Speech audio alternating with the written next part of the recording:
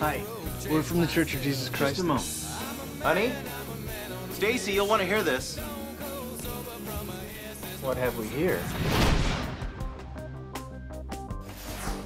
So, what is it that you guys do?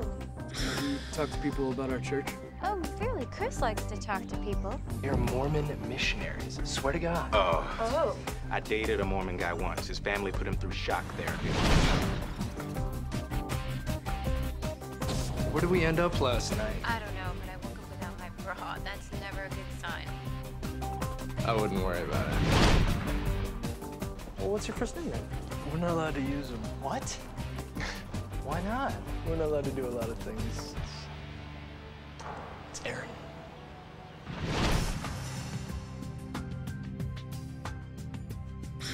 Gross!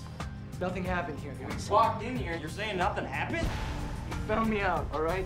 My worst secret. Do you know how repulsive that is to God, to everyone? I wish my shame was enough for both of us. Not to mention the shame you brought to this church. Your church doesn't like uh, alcohol or homosexuals. And I'm definitely not joining.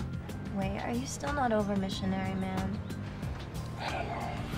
Listen to you. You are turning into a chick. You tell me one thing in your life beyond a shadow of a doubt that you really believe. I believe Ann-Margret has never been given her due as an night actress. Duh. You want angels trumpeting down from heaven. What if this is it instead?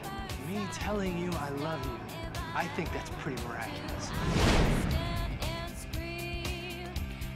All right, general question. Do you believe in God? You mean other than Madonna?